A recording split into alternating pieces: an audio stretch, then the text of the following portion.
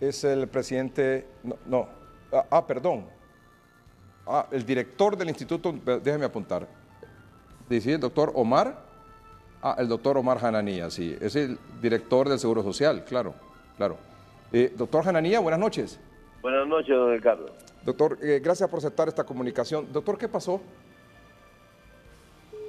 ¿Perdón? ¿Qué pasó, doctor? ¿Falleció otro, otro paciente? Sí, evidentemente es un paciente joven de 32 años de edad, Aquí, ingresado y que tuvimos reporte COVID positivo hace 72 horas y acaba de fallecer en el Seguro Social del Hospital Regional del Norte. 32 años confirmado de COVID. Sí. ¿Cuándo ingresó al, al eh, ¿cuándo ingresó al Seguro Social? Hace aproximadamente unos siete días. Siete días. Sí. ¿Tenía él algunas condiciones de salud previas? Absolutamente nada, don Gardo. Desafortunadamente estamos viendo características diferentes a lo que se presenta en Europa.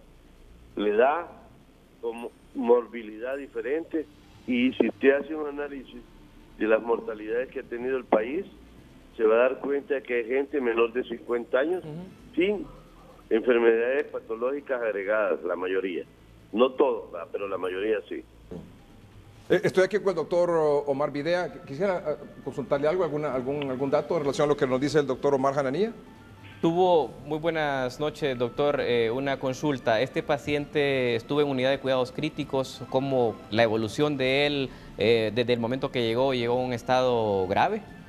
No, es un paciente que llegó con una dificultad respiratoria y que se estuvo utilizando un Airbox. Un respirador. Un respirador nasal de alto flujo y que definitivamente en posición prono, como ustedes saben, más más eh, el poder acostado que tienen y que conocen los internistas.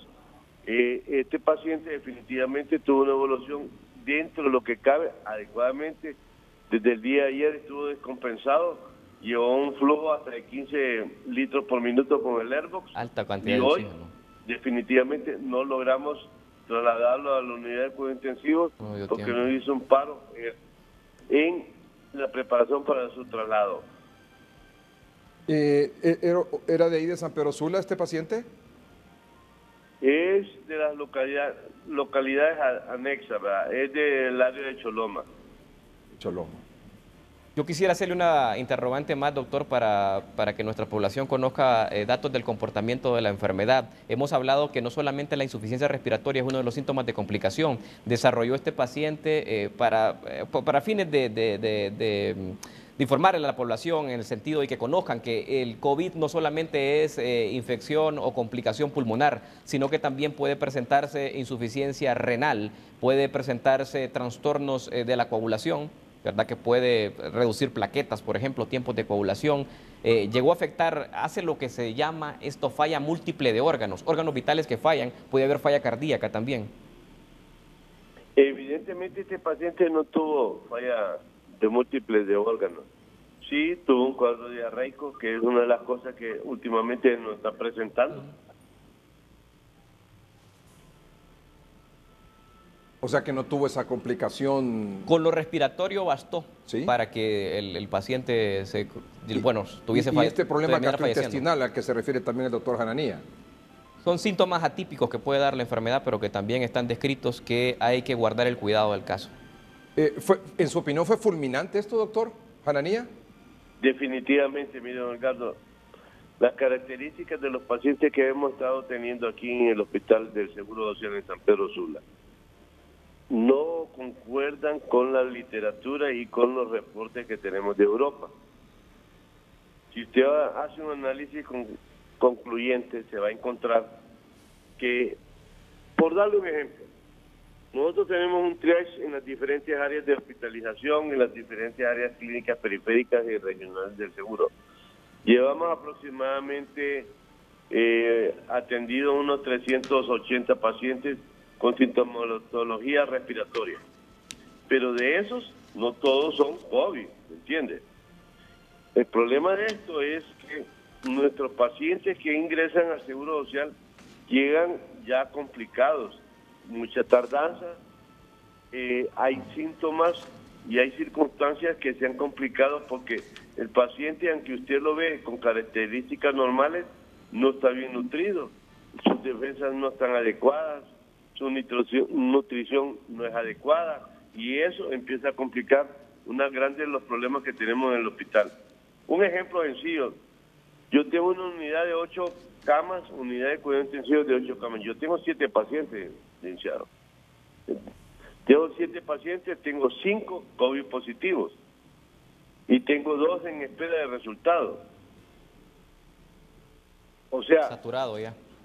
Totalmente. Estoy expandiéndome, si Dios lo permite, para mañana o pasado, seis unidades más de cuidado intensivo.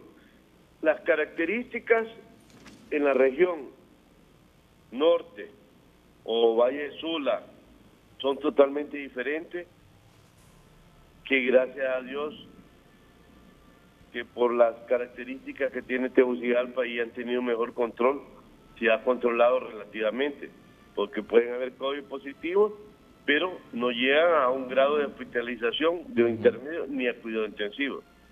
Hago un llamado yo a la Secretaría de Salud que debemos de reforzar la parte epidemiológica que no lo estamos haciendo.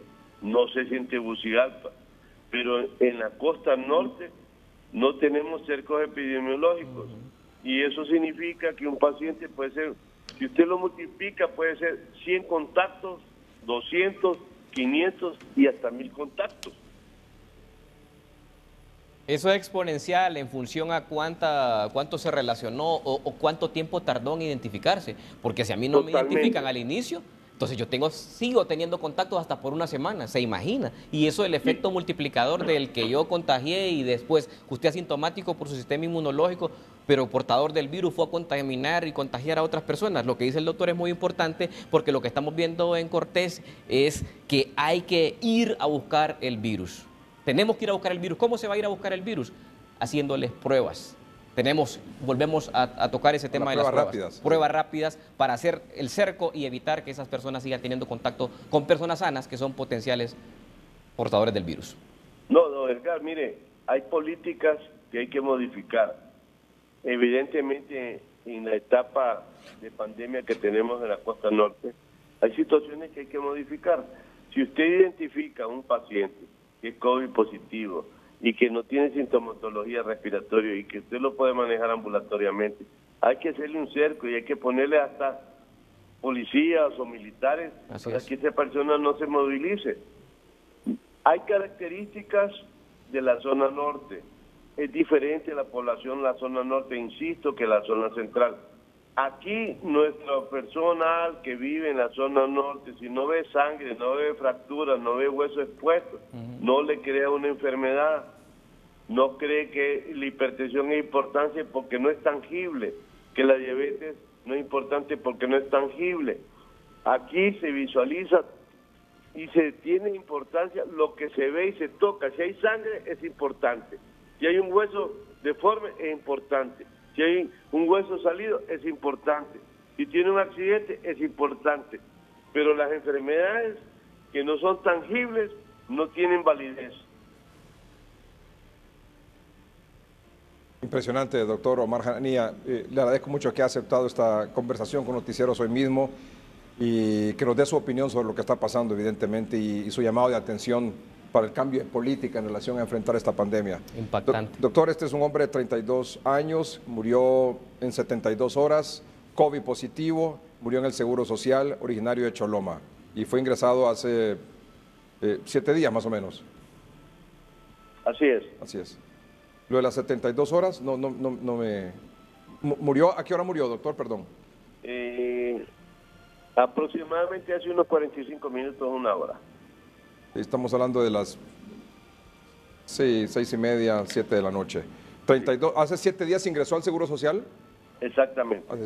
Recordemos, don Edgardo, que tenemos un problema serio y el doctor lo sabe, que las pruebas de PCR. hematología que se mandan a hacer se están tardando demasiado, más de 72 horas, a veces cuatro días, cinco días para tener una respuesta, sea positivo o sea negativo.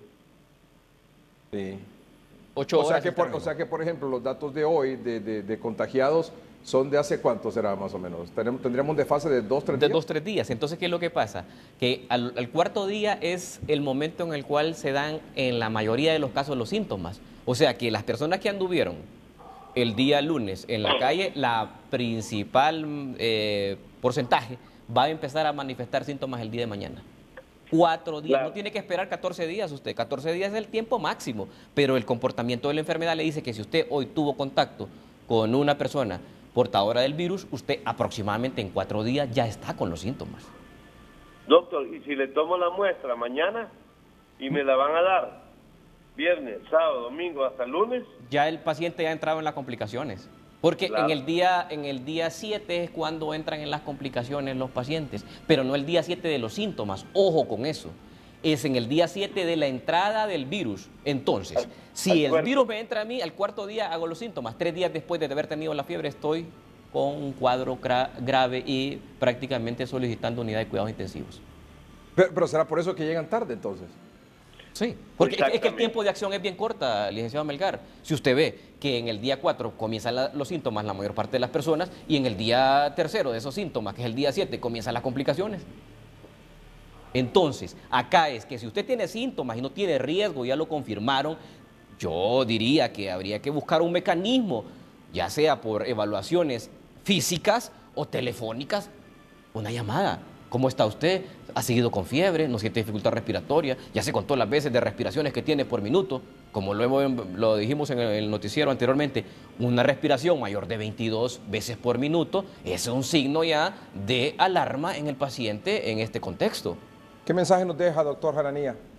Bueno, la verdad lo que está mencionando el doctor ahorita es algo fundamental. Nosotros tenemos un call center que llamamos diariamente a todas las personas que han tenido un contacto con COVID positivo, a todas las personas que han tenido que tienen COVID positivo pero no tienen sintomatología respiratoria, porque es necesario hacerle seguimiento. Pero tenemos una fase que nos falta necesitamos un albergue o una hospitalización en observatorio, que debe durar entre 14 y 21 días después de que salga del hospital o después de que tenga el diagnóstico positivo, sin complicaciones.